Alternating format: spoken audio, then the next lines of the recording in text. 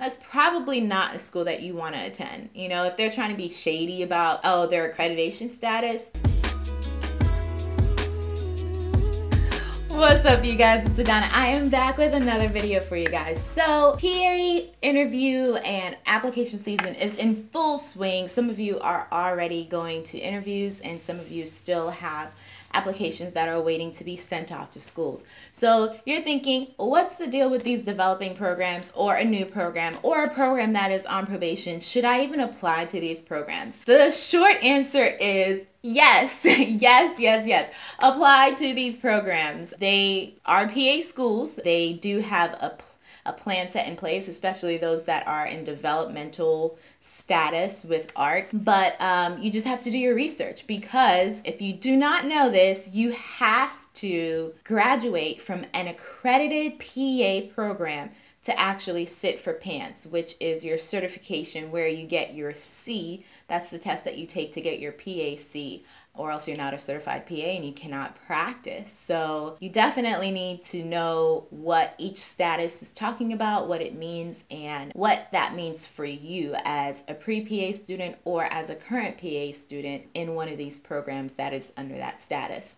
I already talked about ARC. So ARC is the accreditation body. It is the actual body or organization that goes and accreditates each schools. So they can give them a provisional accreditation, or um, if you've already been accredited, you'll have a continued accreditation status, or you can be on probation because your school is not necessarily meeting certain standards set in place by ARC. So, what do all of these mean? Well, I mean, continued accreditation is pretty simple, right? The school, it's been accredited already and they're continuing their accreditation. They're in good standing. Great.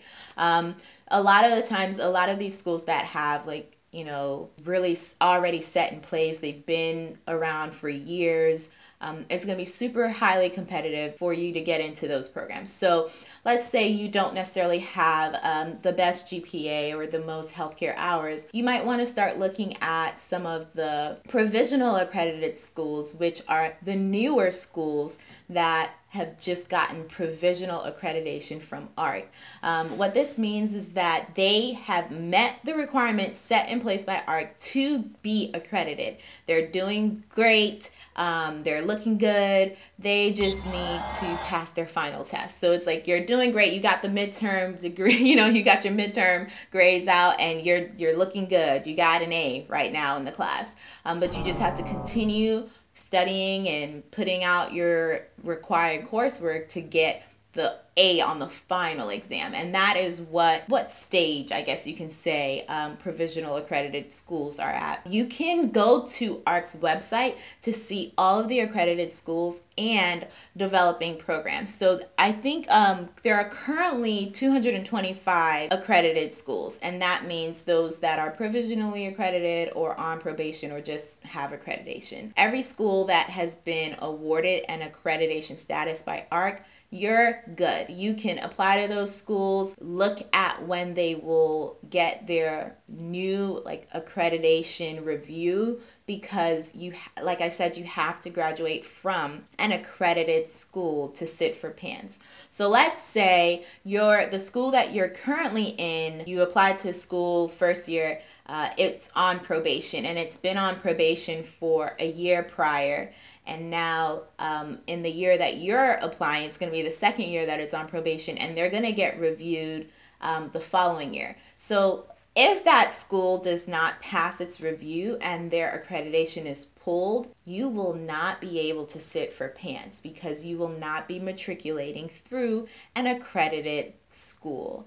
So that is the dilemma that you face when dealing with developing programs and programs on probation. You really have to go to ARC's website. Go to that website, look at their list of developing programs, look at their list of all the accredited programs, look at when the program started. That will be able you will be able to just tell the age of the program, and then look at when their next review is. That is very, very essential because in that you will be able to gauge all right, well, if I apply now and their review is not until 2020, then I will be graduating from an accredited school, right? But if I apply now and their review is next year, there's a possibility that I will not graduate from an accredited program, which is not a good thing because you have to graduate from an accredited program to sit your PANCE.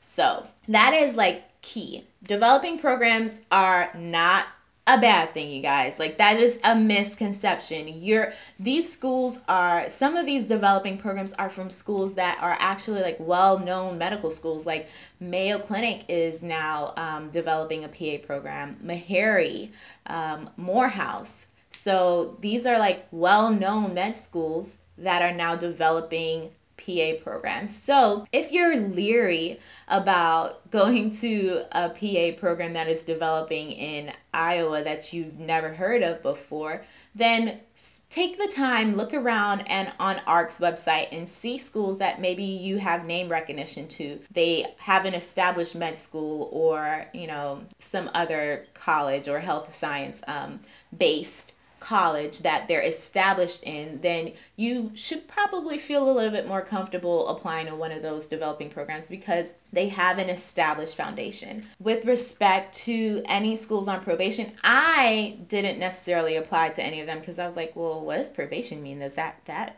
means that you know like they're not doing what they need to do. I was a little disenchanted by that. I i really didn't do my research prior to looking at those schools to see like okay well so probation means this or that like what exactly does it mean to be on probation? But arc breaks it down on what each probation status means like what a d means which means that um, it's at other campuses what a hashtag or the number sign means which means that the school was previously closed but now is has has a it had a period when it was previously closed down. So all of these things you take them into consideration when looking at the schools that you want to apply to and don't be afraid like let's say you got an interview to one of these schools that are either provisional or um, developing or on probation. Don't be afraid to ask them about, hey, what does your status mean? What would that mean for me as a PA student?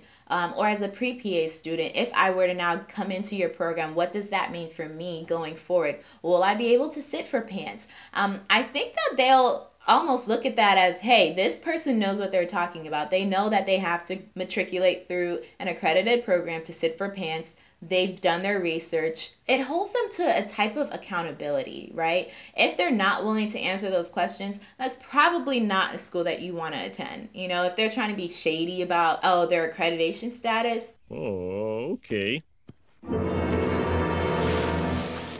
no, you don't want to be there. So do your research. If it's not an issue to apply to these schools, but just know exactly what you're getting into.